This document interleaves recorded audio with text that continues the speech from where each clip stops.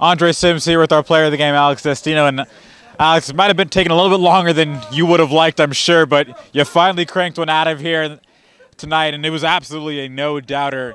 How did it feel to finally square one up? No, it was great. I mean, it's good, good, good seeing the ball fly out to the, uh, I mean, out over the fence. It's been a little while, a lot longer, like you said, than I thought. But uh, I mean, it's good, good to help the team go ahead. So, um, I mean, it's just good winning.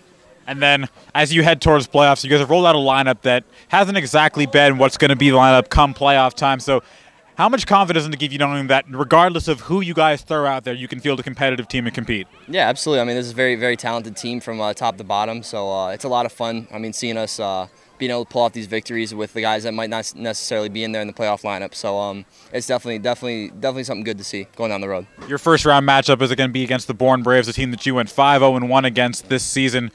Is that in the back of your guys' mind, or you guys are kind of approaching this as a clean slate? You know, it's kind of like approaching a regional. I mean, regardless of the talent of the team that you're uh, that you're facing, they're going to bring their A game, and uh, we're going to bring ours. So I'm looking forward to it. Uh, the